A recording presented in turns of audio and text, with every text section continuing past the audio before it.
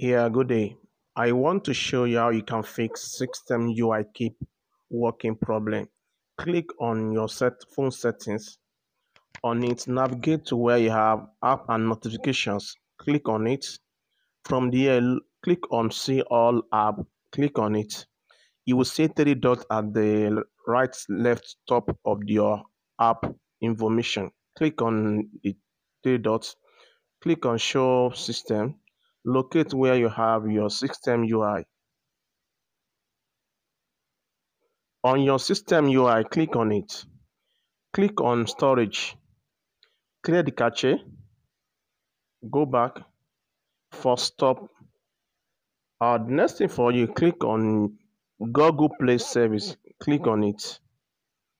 Click on storage. From there, click on cache and likewise click on uh, clear storage